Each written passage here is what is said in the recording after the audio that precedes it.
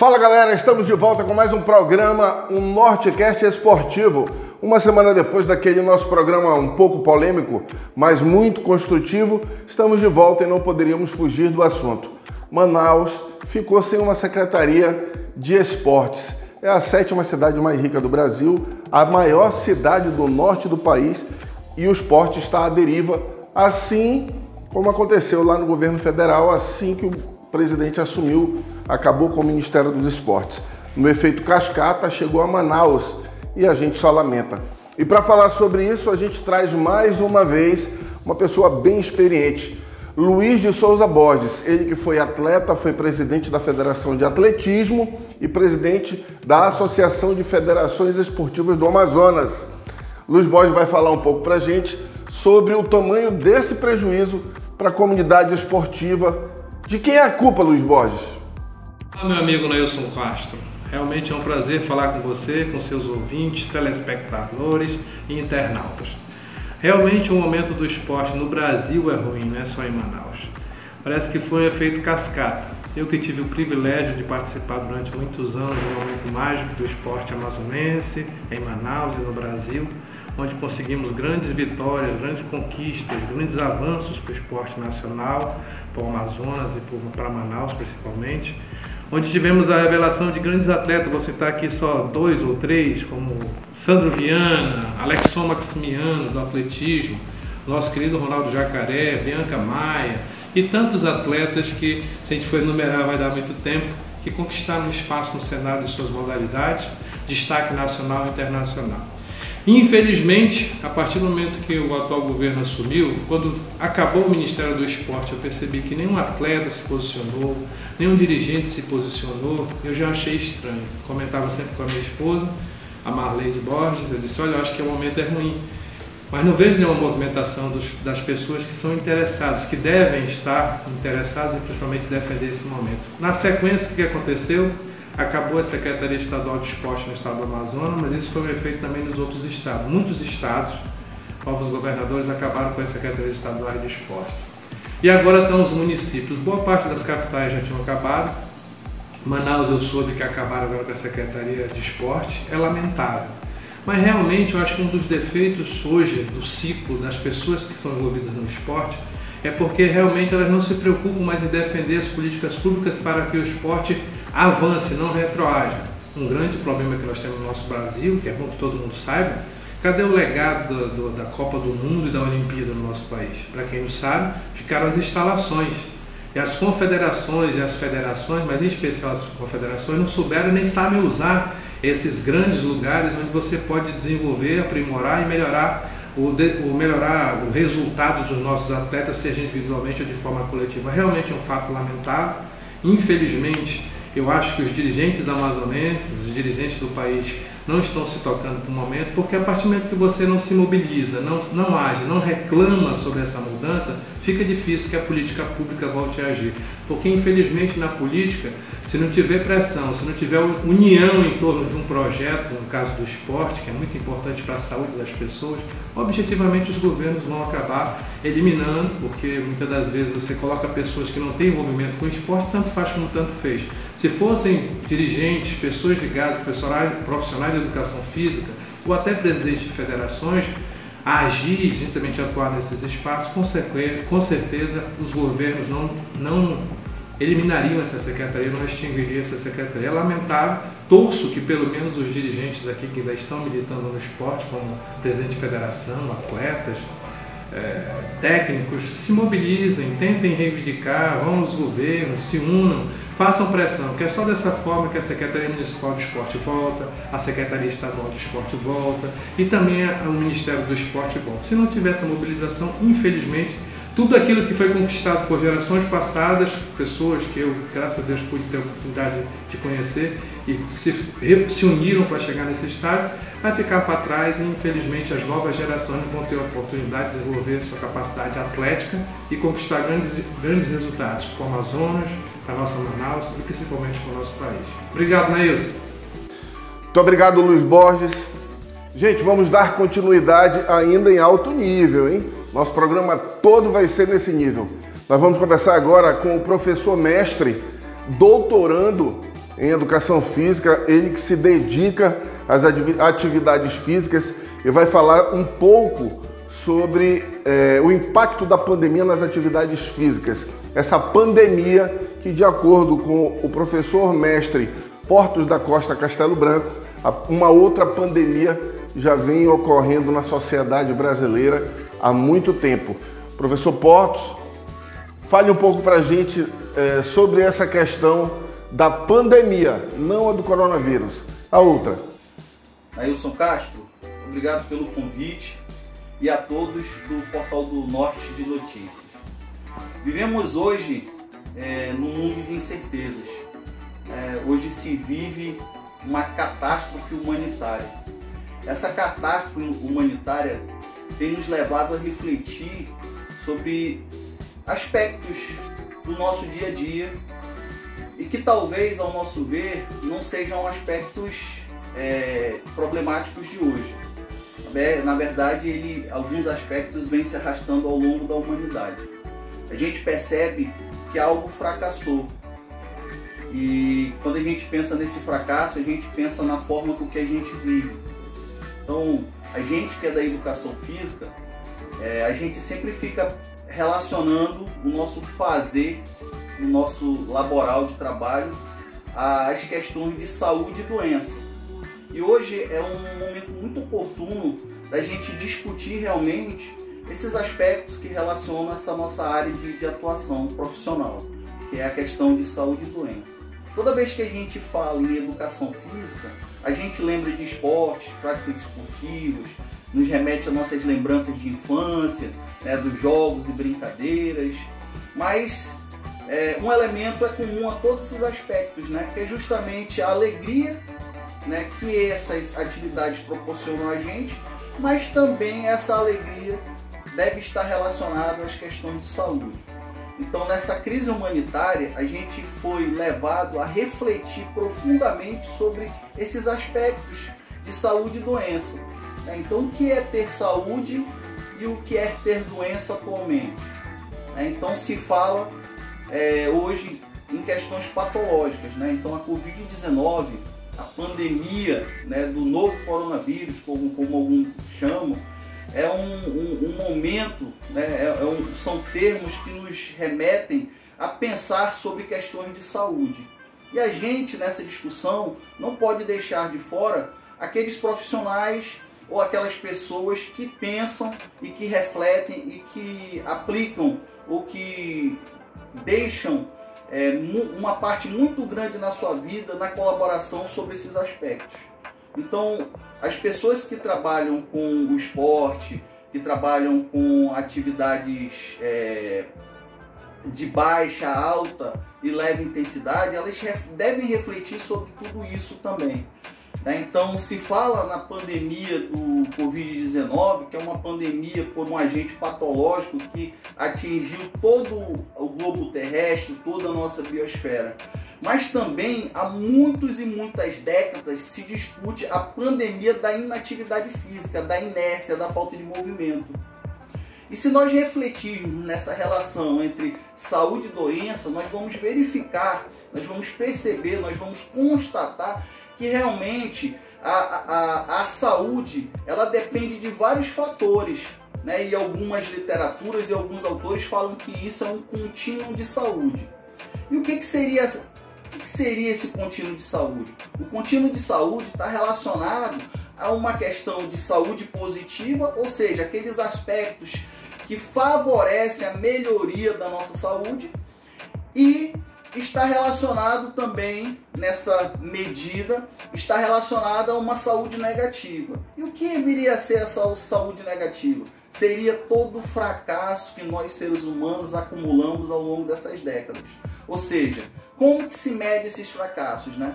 Primeiro, o ser humano né, ao longo dessas décadas vem apresentando um comportamento de risco. O que, que seria esse comportamento de risco? Né? Eu não me movimento, eu sou o tempo todo parado, né? Eu dou o um nome para isso de sedentarismo. O sedentarismo tem sido o mal dos séculos, né? Associado a esse sedentarismo, a gente também tem outros aspectos, por exemplo, a dieta inadequada. Ou seja, hoje a gente vai ao mercado, ao supermercado, às feiras, a gente consegue comprar tudo aquilo que a gente quer. Com um carrinho, nós nos deslocamos e colocamos nos nossos, nos nossos é, corpos tudo aquilo que a gente quer e às vezes nem, nem não precisa.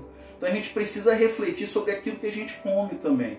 Né? Então, o que, que eu estou comendo, o que, que é bom para minha saúde e o que, que não é bom para minha saúde. Isso é um comportamento, e é um comportamento do mundo contemporâneo. Outros aspectos estão relacionados ao tabagismo, outros relacionados ao abuso de, de, de drogas, né? ao consumo excessivo de álcool. Né? Nesse mundo né, de, de, de pandemia, a gente também perdeu também a qualidade de sono. Por mais que a gente tenha muito tempo, a gente trocou os horários. Ou seja, eu de noite viro à noite maratonando nas séries, mas em contrapartida, né, de manhã eu durmo a manhã toda. Os nossos relacionamentos interpessoais também têm sido prejudicados. Tudo isso por conta de comportamentos. E tudo isso leva a uma direção perigosa. Né? Tudo isso leva a, a, a uma coisa que nesse contínuo de saúde a gente chama de fatores de risco. Então todos esses meus comportamentos me levam a ter alguns fatores de riscos. Quais são esses fatores de risco? O excesso de peso, a dislipidemia, ou seja, o excesso de gordura né, na nossa corrente sanguínea, pressão arterial alterada, né, alterada para cima, ou seja, pressão alta. A gente tem aquilo que vem matando mais do que o coronavírus ao longo dos séculos, ao longo das décadas, que é justamente as doenças cardiovasculares. Nós temos distúrbios psicológicos, depressão, ansiedade, temos uma dependência funcional muito grande. E, e, também outro fator de risco que a gente não deve deixar de lado é a questão da gravidez precoce, né? ou seja, das nossas adolescentes. Então, comportamentos de risco com fatores de risco nos levam a desenvolver as doenças. Então, quais são as doenças que vêm matando ao longo dessas décadas mais do que o coronavírus? As cardiopatias, ou seja, as doenças do coração, as doenças do, do sistema cardiovascular. Outra doença terrível que tem sido um, um, uma vilã ao longo dos séculos é a diabetes né? principalmente a diabetes do tipo 2, que é adquirida né? por conta do nosso comportamento e o agravamento desses fatores de risco. Né? E outras questões também que afetam diretamente aquilo que proporciona o movimento, né? que são as osteoporoses, principalmente vista aí já nas pessoas de meia, de meia idade, adultos, adultos maduros. Né? A gente começa a ver já o, o, o aparecimento de doenças como a osteoporose. Tudo isso, pessoal, todos esses aspectos levam a gente a uma saúde negativa. E o que, que é a, saúde negativa? É justamente a instalação de, de limitações funcionais que nos levam, por assim dizer, até a morte. Né? Então, esse contínuo de saúde precisa ser refletido por nós. E uma das alternativas é aquela que cabe a gente de educação física, dos profissionais de educação física, é falar na questão de movimentar-se. Então hoje a gente discute mesmo né, é, essa questão né, do movimento. Então, em tempos de pandemia, desse isolamento social, em que a gente não pode frequentar academias, onde a gente não pode frequentar os ambientes sociais onde a prática esportiva acontece, o que fazer? O que mudar para combater o sedentarismo? a falta de atividade física, a inatividade física. E aí um, um dos pontos que eu gostaria de discutir com vocês e falar e que trazer como alerta é justamente mudar comportamentos, mudar comportamentos de riscos, é, colocar no nosso dia a dia, na nossa organização diária, é, um tempo para cuidar da gente. E por mais que isso pareça difícil em tempos de, de pandemia, pessoal, eu quero dizer para vocês que o sedentarismo ele, ele também parte de determinados comportamentos. Então, se nós pensarmos hoje sobre a inatividade física, sobre essa falta de movimento, a gente pode mudar isso em pequenas atitudes. Por exemplo, se eu preciso subir, por exemplo, para um, um, prédio, eu moro em um condomínio, ou eu preciso subir, eu tenho ah, duas opções para chegar até a minha moradia, por exemplo, escada e elevador, eu posso mudar esse comportamento hoje. Em vez de eu subir pelo elevador, eu subo pelas escadas, desde que isso me seja possível. É, eu posso pensar também em outros aspectos relacionados ao tempo de atividade. Se eu trabalho hoje sentado durante muito tempo do dia, eu posso pensar que em cada uma hora eu devo levantar e permanecer pelo menos seis minutos em pé em deslocamento. Né? Eu posso pensar também sobre aquelas atividades que me deixam o tempo todo parado. Então, por exemplo, hoje é, é comum ao, ao homem contemporâneo né, olhar muito aparelhos de tela, eletro, eletrônicos. Por exemplo, quanto tempo hoje você pode refletir? Quanto tempo hoje você fica na frente da televisão assistindo um filme, maratonando numa série? Né? Então, se você somar isso ao tempo de redes sociais como Instagram, é, como Facebook, como WhatsApp, você vai verificar que no final do dia você vai ter somado muitas horas, mas muitas horas mesmo acumuladas de inatividade física. E se nós pensarmos hoje no que, no que diz a, a inatividade física, essa questão da, relacionada ao sedentarismo, a gente vai verificar o seguinte, que a gente tem que pensar naquilo que a gente, dentro do nosso metabolismo basal, a gente gasta de energia, a gente vai ter que fazer essa conta. O que, que eu consumo de, a nível de energia e o que, que eu gasto, ou seja, de que forma eu me alimento e de que forma eu gasto essa energia. Se eu não gastar essa energia, ela vai se acumular e vai se acumular em forma de tecido adiposo. Então eu preciso pensar nesse, nesse gasto, equilibrar essa balança. Então hoje se mede realmente a questão da atividade física e atividade a gente física, atividade física a gente entende por todo por todo o movimento né, da musculatura esquelético que, que, que, que, que gaste energia, que promova um gasto de energia. E a gente, nesses processos, a gente precisa realmente equilibrar isso. Eu preciso gastar energia. E aí na educação física se fala muito que se gasta energia né, nos esportes, na, na, na, em dança, né, na prática do futebol, do voleibol, né, para as crianças, jogos e brincadeiras.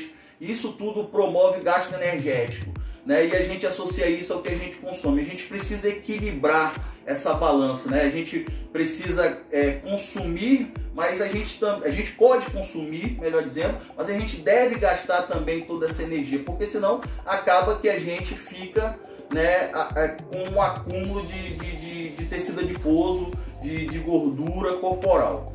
Então a gente precisa realmente refletir sobre o comportamento sedentário, mas fica o alerta: a inatividade física é uma pandemia que está há várias décadas é, instalada na sociedade. É, não foi diferente é, nas várias etapas de desenvolvimento sociocultural do ser humano. Ela está aí, ela está presente, ela precisa ser repensada mas eu preciso realmente mudar esse meu comportamento, eu preciso enxergar e olhar de forma é, diferenciada para essas questões.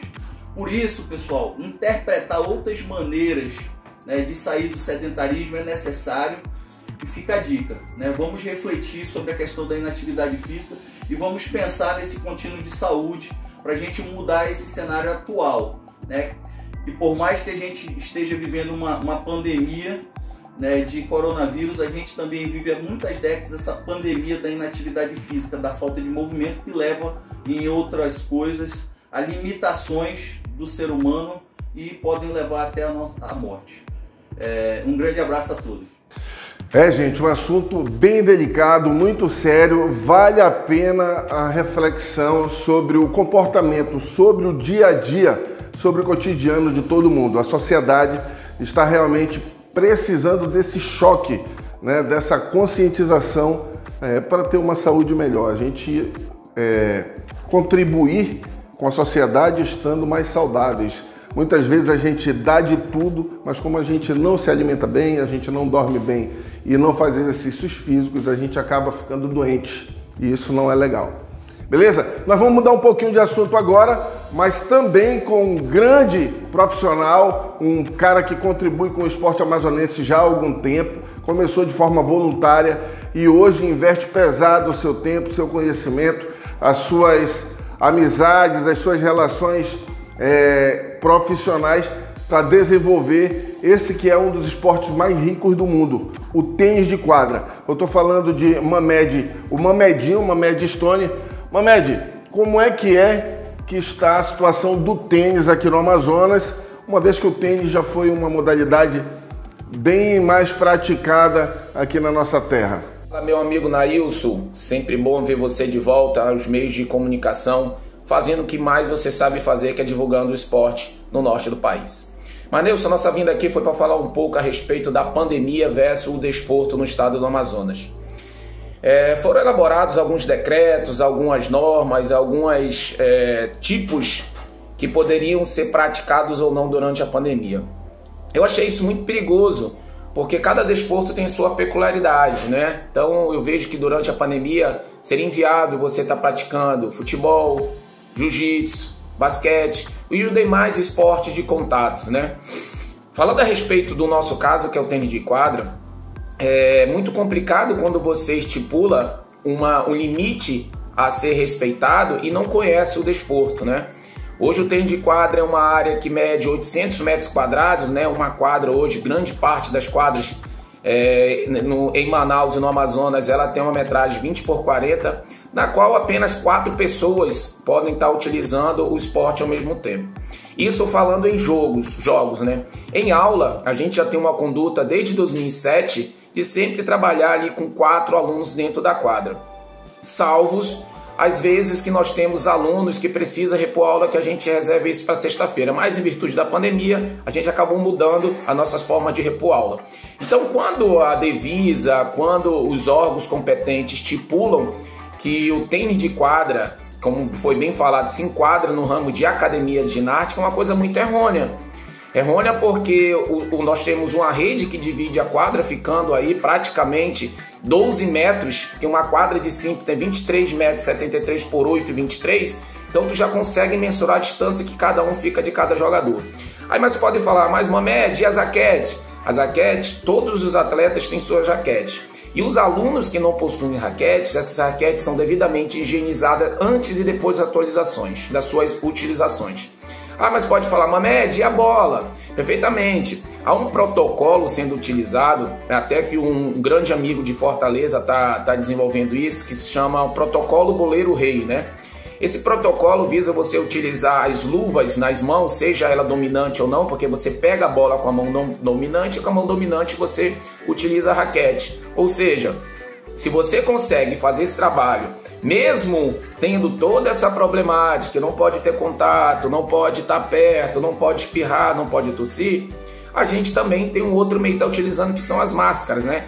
Eu vejo que alguns desembargadores já deram algumas liminares a respeito do tênis voltar, mas Manaus, por ser uma província, ainda infelizmente tem a situação. Eu até convido, eu convido a Devisa, convido os órgãos competentes do município para ir dar uma fiscalizada fiscalizar para saber como é que funciona. Hoje aqui em Manaus nós temos é, ainda parado, trabalhando em, em, em, bem reduzido o Bosque Clube, tem o nosso clube parado, tem a, a, a Top Tênis parado. O único local ainda que até hoje continua ter essas atividades, eu acho que é apenas o Tropical Hotel. Mas isso é uma questão de clientes estão precisando fazer atividade física, né? Então, por essa questão, eu vejo e convido e desafio também a Devisa para saber como funcionam nossas atividades, né? Porque nós temos muitos profissionais que dependem dessa, dessa atividade diária. Nós temos muitas pessoas que estão deixando de faturar, eu boto assim, desde a base mais simples, que são os catadores de bola. Os catadores de bolas têm uma, uma precisão tão grande para levar um dinheirinho para sua casa. Para quem não sabe, o catador de bola seria o boleiro do tênis, né? Que são aqueles meninos que recebem diariamente através dos clientes que precisam do serviço deles. Nós temos rebatedores que também necessitam de mais, são meninos que deixaram de ser catadores de bola e estão nos auxiliando dentro da quadra. Temos os instrutores, que são esses que estão ali é, no corpo a corpo, diariamente, precisando desse cliente, e tem nós, os professores, né? Então, a gente acaba deixando de fazer um sistema macro por conta da falta de informação das pessoas que estão decidindo. É, falaram que Manaus ia ter três estágios, né? Foi liberado o primeiro, foi liberado o segundo e o terceiro ficou para o dia 29, mediante o aumento ou não dos casos no estado. Mas como é, é, é, é bem sabido, é, a nossa saúde está em colapso há muito tempo. Então, ainda mais que saiu essa situação agora da OMS falando dos assintomáticos que não transmite, a gente acaba ficando sem saber o que é verdade e o que não é. Sabemos que temos que respeitar o vírus, sabemos que temos que respeitar a doença, mas assim, a economia não pode parar, o sistema não pode parar.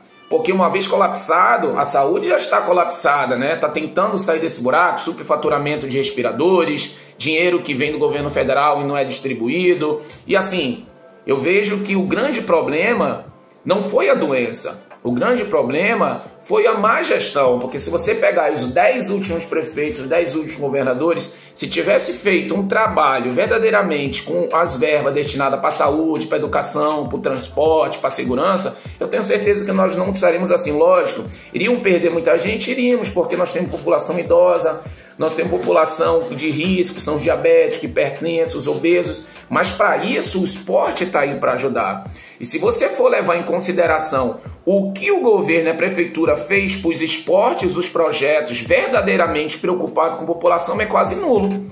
Eu costumo dar o um grande exemplo desse, desse profissional do boxe, que é da Zona Leste, que o cidadão morreu e eu não vi um, um projeto de verdade, que eu vi ele com ringue de madeira, e assim, isso eu externo para as outras pessoas dos outros esportes. Como você muito bem sabe, desde 2007, quando nós montamos a, a Mamed Tênis, ela vem com o cunho de querer melhorar e difundir o tênis no norte do, do país. E isso nós fazemos isso sozinho. Sozinho.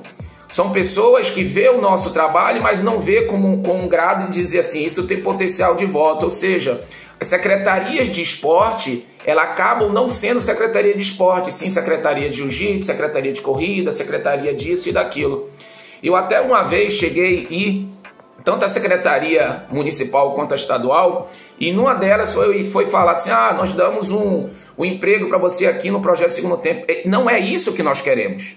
O que nós queremos verdadeiramente é ajudar a população de Manaus ajudar a tirar as crianças da, da ociosidade e fazer que quando tivesse e tiver, que vai ter ainda mais, que eu tenho certeza, porque hoje investem, fazem investimento em tudo, pagam até milhões em coisas que não deveriam ser pagas, mas na saúde, no desporto, a prevenção eles não fazem. Essa é a realidade. Não há uma prevenção. Esporte é vida. Esporte, você tem um poder de mudança sociocultural tão grande que se todos bem soubessem, fariam um trabalho desse. A prefeitura precisa nos dar solução, né? Eu tenho certeza que aqui nessa área, como qualquer outra área do município de Manaus, a gente conseguiria desenvolver trabalhos sérios e competentes que tirariam as crianças do mundo da droga, da ociosidade, da prostituição e transformaríamos esse cidadão de verdade, né? Porque como eles estão à margem da sociedade, seria importante trazer para nós porque quem sabe, cara, dentro dessas periferias, nós temos aí novos Neymar, novos Ayrton Senna, novos Gustavo Kirta, novas, é, é, é, várias, vários ginastas, Daiane dos Santos, Diego Hipólito, vários jogadores de vôlei, Tandy, Marcelo Negrão, Pampa. O que que falta? Investimento. Todo mundo tem o seu papel junto à saúde. Nós, profissionais de educação física, um trabalho de prevenção, os fisioterapeutas, um trabalho de fazer um trabalho de recuperação, e os médicos nos auxiliarem com sua ciência que eles têm. Então é um trabalho em conjunto. Então não pense que um vai conseguir trabalhar sem o outro. Isso é surreal. Então, ó, mais uma vez, muito obrigado. Espero que todos fiquem com Deus, que a gente consiga pular essa fogueira que não é pequena, uma fogueira muito grande, mas nós vamos vencer, tá? Um forte abraço a todos, que Deus proteja a todos e que Papai do Céu nos traga a melhor solução, porque se esperar dos governantes, isso é quase que improvável. Obrigado, Mamedinho. No que for possível, nós aqui do Portal Norte de Notícias estaremos sempre contribuindo com o tênis. E do tênis a gente vai para o jiu-jitsu. A gente já falou aqui que no Amazonas tem mais é, academia do que campo de futebol, do que quadra. Então, o jiu-jitsu é uma das três modalidades, modalidades com certeza mais praticadas em todo o nosso estado. E para falar um pouco, assim, brevemente, é, o jiu-jitsu que nunca para, dessa vez parou, porque é um esporte de contato e não pôde é, continuar com as suas atividades nas academias, nos tatames, né, no pega-pega, nos treinos e estamos voltando. Graças a Deus estamos voltando. E eu convidei ela que tem o mesmo sobrenome que eu, gosta de uma modalidade que eu também gosto, que é o jiu-jitsu, e ela vai fazer um convite para muita gente que não sabe que o jiu-jitsu já está retornando com as atividades. É a Valesca Castro, que muita gente chama de a musa do jiu-jitsu. Fala, Valesca. Meu nome é Valesca Castro, sou instrutora faixa roxa da Academia Jeft North Fight e venho falar sobre a reabertura da nossa academia que será no dia 29 desse mês, conforme a determinação do nosso governo do estado do Amazonas. Quero dizer para vocês que esporte é saúde e nada melhor do que falar sobre isso, trazer a saúde para a nossa população. A Academia Jeff Norte Fight, pensando na segurança dos nossos atletas, nós colocamos aqui agora dois ambientes. Está tendo treino aqui no ambiente do tatame, mas também vai ter treino em outro ambiente, em outra área. Então, a Academia Jeff Norte Fight expandiu devido essa fase de não ter aglomeração no tatame. Estamos trazendo para nossos atletas apoio psicológico, tá? Então, todos os atletas da Academia Chefs de Norte Fight vão ter um apoio de duas vezes na semana com tratamento com psicólogo, duas vezes na semana com nutricionista. Quero dizer para vocês que esporte é saúde sim. Então, se você passou esse período de pandemia dentro de casa, trancado, ficou com ansiedade, talvez até mesmo com depressão, venha conhecer a nossa família no tatame. A nossa academia ela tem o maior time feminino na região norte, aonde nós trabalhamos essa parte de defesa pessoal, autoestima, perca de peso e muito mais. Estamos aqui para melhor atender vocês e dizer para vocês que esporte é saúde. Fiquei um pouco triste né, com a extinção da CEGEL, que, no meu ponto de vista, é uma secretaria que traz muito resultado, mas infelizmente nem todos pensam como nós. E eu quero dizer mais uma vez: esporte também é saúde. Esporte salva vidas. Esporte é mudança de hábitos. Conto com a presença de vocês. Obrigado, obrigado, Valesca. Gente, ele participou na semana passada de uma forma bem sucinta, mas ele tinha mandado uma entrevista maior. Eu achei que a gente tem que aproveitar, ele tem gabarito para isso. Sérgio Duarte, que foi atleta profissional, é professor de educação física e que continua é, dando o exemplo de como se mantém em forma, ajuda a própria comunidade, dá aulas gratuitamente. E ele vai falar com a gente um pouquinho sobre como é, Sérgio, que você mantém a forma física, ensina para a rapaziada, você que é um cara de campo, um cara que vive na atividade em campo, mas como é que você mantém a forma para todo mundo que acompanha a gente é, também fazer. Exatamente isso aí, Nailson. Nesse tempo de pandemia, né, a gente tendo que cumprir essa quarentena, esse isolamento, é, tendo que se guardar né, para preservar a nossa saúde, né, a vida. A gente está vendo muita, muita, muitas pessoas enfermas, está vendo muitas mortes, né? Muitas pessoas infectadas aí, o pessoal eh, ainda não tem tomado as precauções né, devidas para a gente evitar e controlar essa pandemia, mas a realidade é que a coisa aconteceu e a gente tem que ser determinado para cumprir o que é necessário. E aqui em casa, tanto eu como a Sandra, como o meu filho, né, o Júnior, a gente tem praticado atividades, eu sempre fui, joguei muito tempo futebol, é, hoje sou treinador de futebol profissional, tanto do masculino como do feminino. É, e eu jamais parei as minhas atividades, gosto de jogar o meu futebol. Infelizmente esse tempo não está permitindo isso, né? É, mas a condição física eu estou sempre cuidando, a gente usa a área aqui da frente de casa, a gente usa a área, a área das traseiras lá, entendeu? Para fazer o nosso treinamento, para a gente manter a forma. É, com relação ao nosso futebol, né? É, tá complicado, vai ser complicado com essa pandemia. A gente vê aí é, algumas formas de quererem as, os órgãos aí quererem que o futebol volte, é sem público, é, mas é uma coisa muito complicada. Não é todo clube que vai conseguir cumprir todo o protocolo necessário para que haja jogos. E mesmo cumprindo, há muitas, muitas outras particularidades que vão ser contra essa situação do retorno do futebol. Eu acredito que aqui é, no Amazonas, né, no nosso estado, é, a gente vê aí hoje os clubes não têm mais calendário, o campeonato foi encerrado, né, há uma, uma polêmica aí entre os clubes para que seja indicado campeão é, aqueles que irão disputar campeonatos a níveis nacionais no próximo ano, né? A gente tem aí o Manaus numa série C, né? É, que tinha se organizado, tinha todo um projeto, um planejamento, né? A diretoria do Manaus soube trabalhar todas essas questões, alguns times novos surgindo aí, entendeu? É, e o que acontece, a realidade é que está muito complicado. Eu, nesse ano de 2020, é, não vejo, não vejo assim de uma forma muito positiva o retornar do futebol. Obrigado, Sérgio Duarte. Você, mais uma vez, eu repito, você é um exemplo não apenas de jogador de futebol, é um cara disciplinado. Quem conviveu com você, quem convive com você um pouquinho, sabe o quanto você é dedicado à família, cara disciplinado, um cara do bem. Obrigado por aceitar o nosso convite, participar aqui do nosso Nortecast esportivo. E ainda sobre futebol, gente, nós vamos falar com, é, com outro personagem importante da sociedade amazonense. Estou falando de Manaus não, hein, gente? Estou falando do Amazonas inteiro. É, ele é um altruísta do esporte. E onde o Estado não se faz presente, tem que ter essas pessoas altruístas, essas pessoas que dedicam um pouco do seu tempo para a criançada, para a juventude.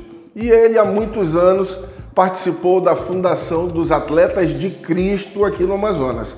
Hoje o projeto mudou de nome, é Atletas com Cristo. Uma mudança bem pequenina, mas a filosofia de trabalho é a mesma esporte, atividade física, disciplina e a pregação da palavra de Deus. Estou falando de Lúcio Silva, nosso amigo Lúcio Silva do Atletas com Cristo. Lúcio, como é que estão as coisas aí? Fala um pouco sobre as atividades do projeto. Obrigado pelo convite. Então, Luiz, falando do projeto Atletas com Cristo, né? As voltas das atividades que nós vamos ter esse ano de 2020 devido à pandemia. E a primeira notícia que você está tendo ao vivo é sobre 200 inscrições que nós vamos abrir para crianças e adolescentes em toda Manaus, bairro como Jorge Teixeira, João Paulo, na quadra do Sesc, Balneário do Sesc no Campos Elísio, é, Conjunto Castanheira, ali nós temos também né, essas áreas, Novo Aleixo, é, Cacau Pereira, que depois da ponte, essas vagas serão distribuídas para jovens e crianças carentes, não paga nada, esse projeto não paga nada. É um projeto a qual a Igreja Presbiteriana está completando 20 anos agora em outubro. Graças a Deus nós estamos trabalhando com quase 700 famílias e todos esses garotos trabalham, é, recebem colete, calção, doação do Mesa Brasil, doação da Igreja Presbiteriana, como kit de limpeza, alguma cesta básica. Mensalmente a gente está distribuindo para algumas famílias carentes.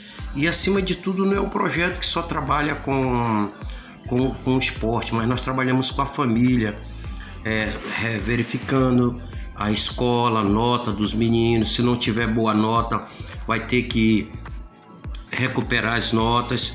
Então, Nailson, como eu estou falando, nós, graças a Deus, estamos fazendo esses 20 anos dos maiores projetos sociais que funciona nós estamos em quase 10 municípios de Manaus, como Japurá, Urucurituba, Boa Vista do Amo, Cacau Pereira.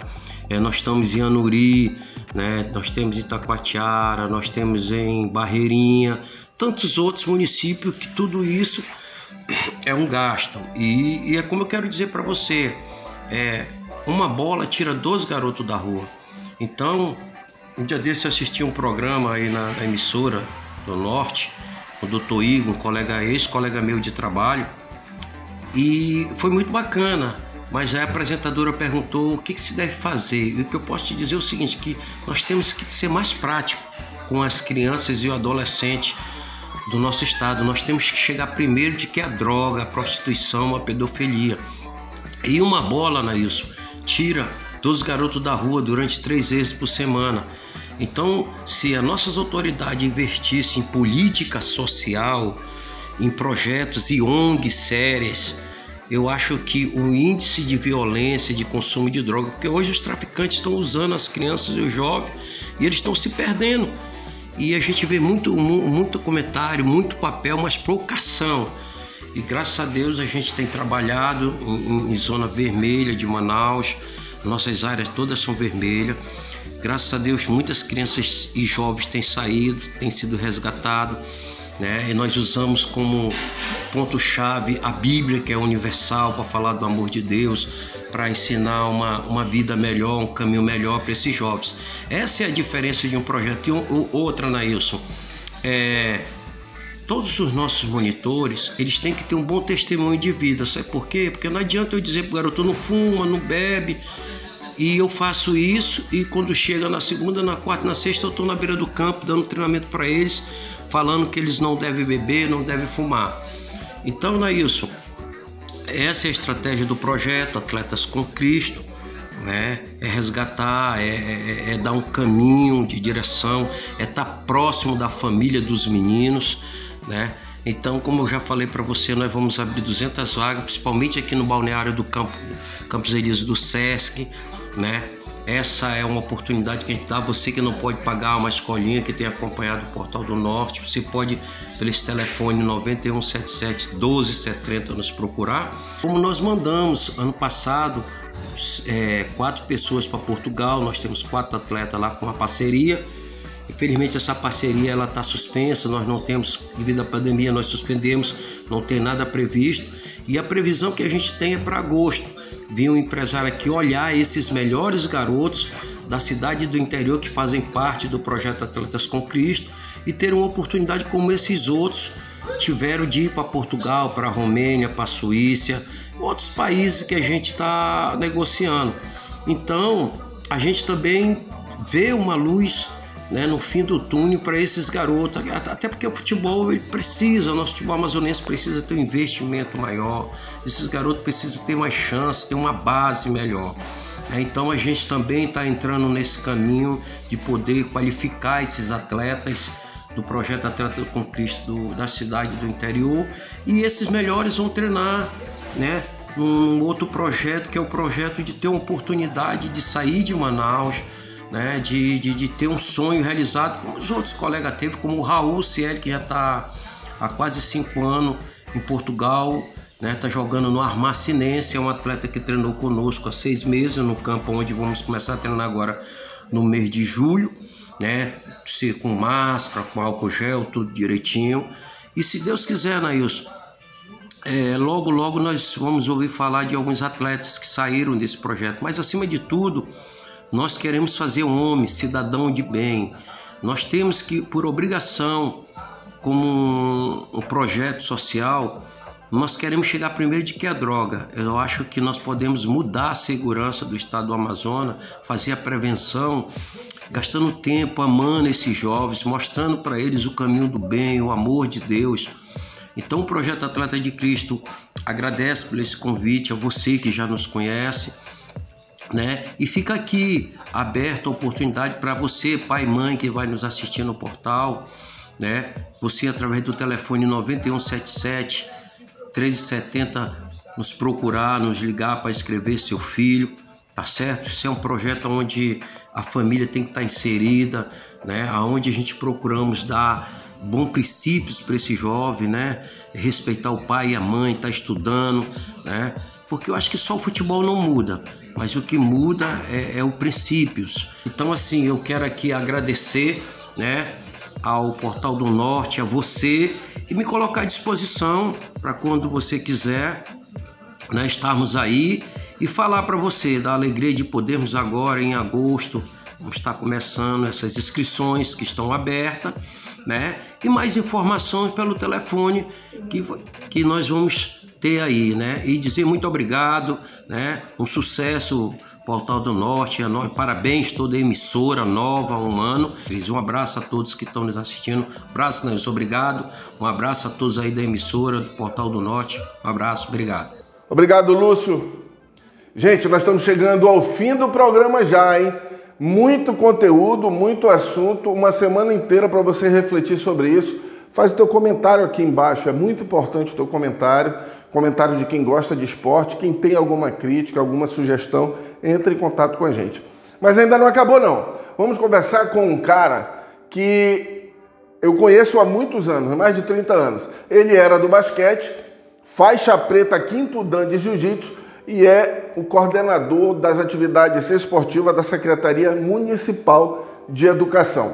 Dentro da Secretaria de Educação tem aquela coordenadoria de esportes e ele está à frente. Eu estou falando de Rony Melo, que é um cara totalmente identificado com as atividades esportivas, atividades físicas, mas é um cara de muita disciplina, de muita teoria, que é importante e sabe sempre aquilo que fala com profundidade.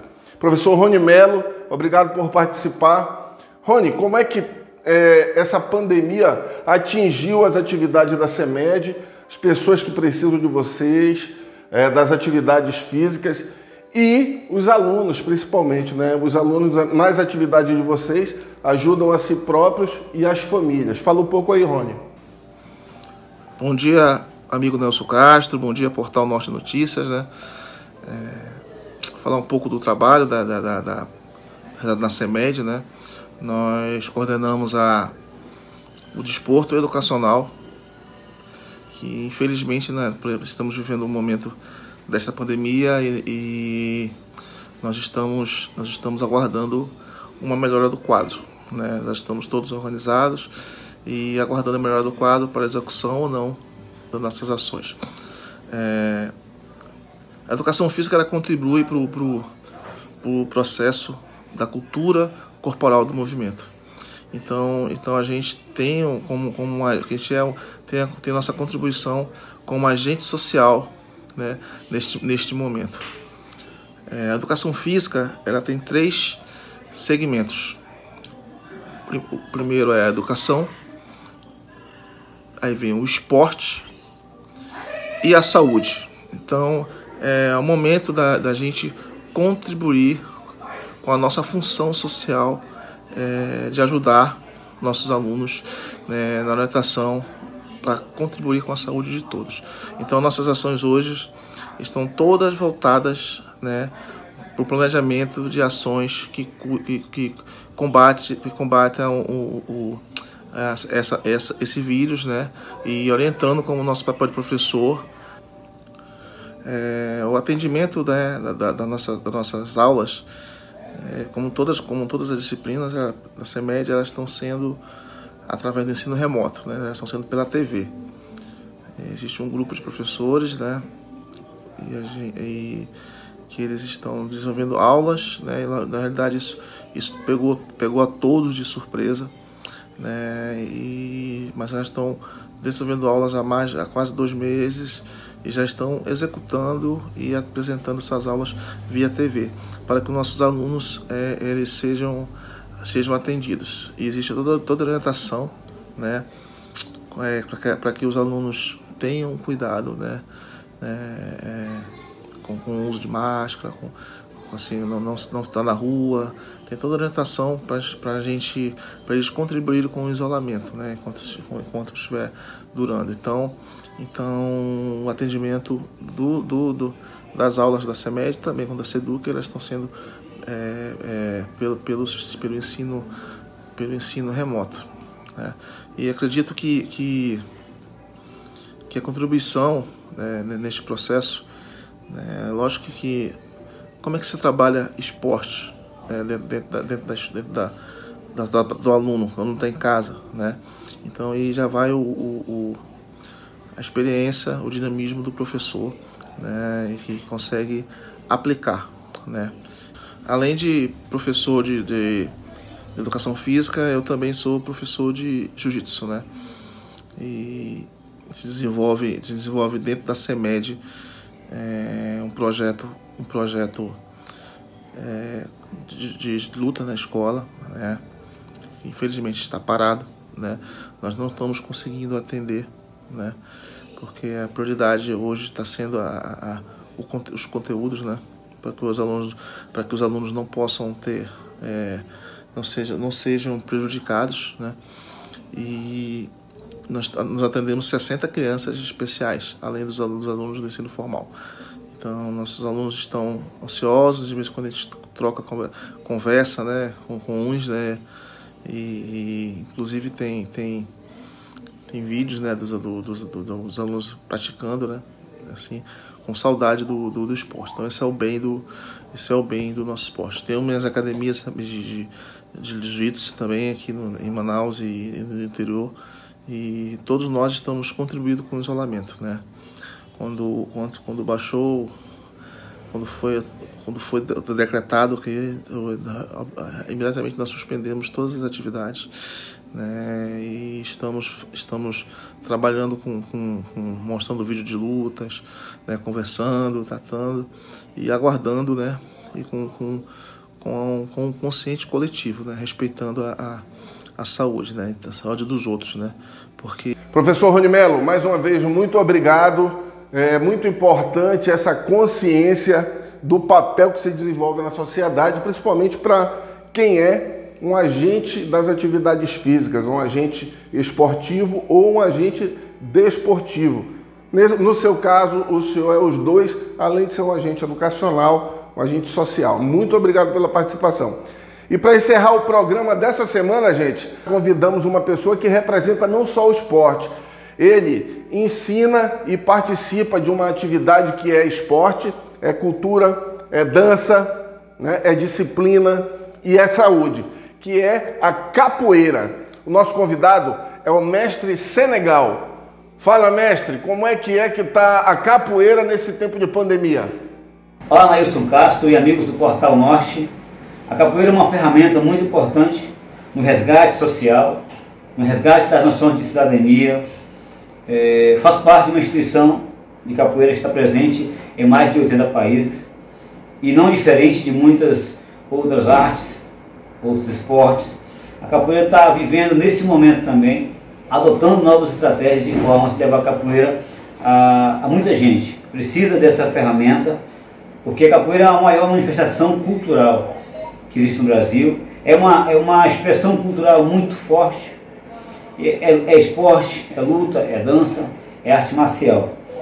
Eu, por exemplo, as aulas que a gente agora ministra e também as aulas que recebemos dos nossos mestres, estamos é, tendo que usar ferramentas de chamadas virtuais como Zoom, Meet, Microsoft Teams, e a gente está vivendo nesse momento é, esse distanciamento, mas a gente precisa de mais, é, é de mais, e quando terminar isso, nossas autoridades, nossos políticos, nossos gestores precisam é, é implantar ferramentas, implantar políticas públicas para a capoeira de forma que, que a gente vai melhorando cada vez mais é, o uso da capoeira na, no, no, ensinar, na questão didática, porque a própria capoeira já traz tudo isso, essa ferramenta de socialização, onde é, é, é patrimônio cultural da humanidade, é nosso patrimônio, é nossa identidade maior no Brasil.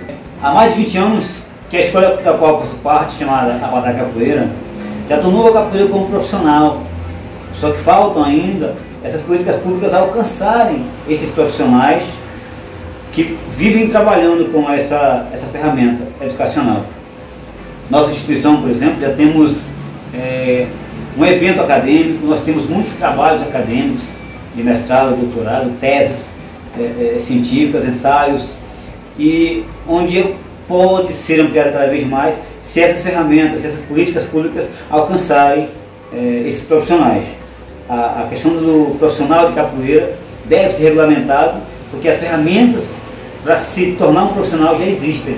Então falta é, oficializar isso através das políticas públicas que nossos gestores poderiam aplicar melhor.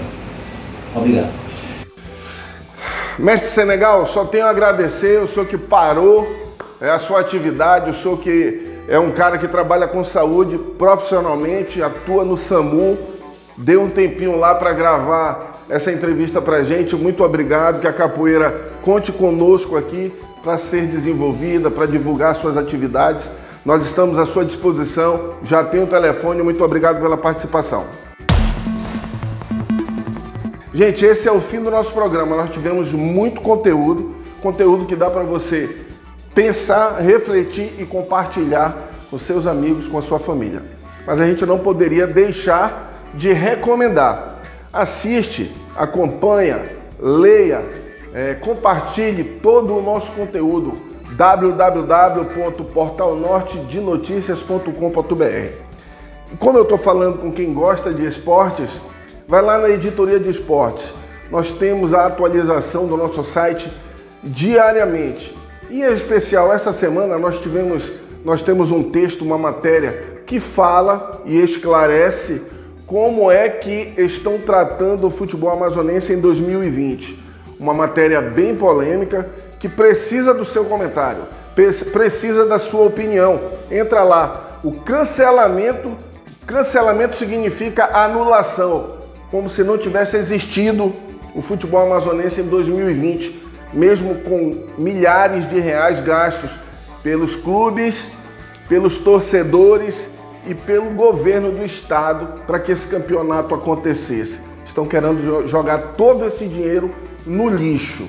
E é importante que você participe dessa, desse pensamento coletivo. Entra na, no portal Norte de Notícias, entra na editoria de esportes, procura a matéria do Campeonato Amazonense e deixa teu comentário lá. Além disso, você pode participar do programa, sugerindo, fazendo críticas para a gente construir um jornalismo que ajude a sociedade. Valeu? Até a próxima semana. Eu te aguardo.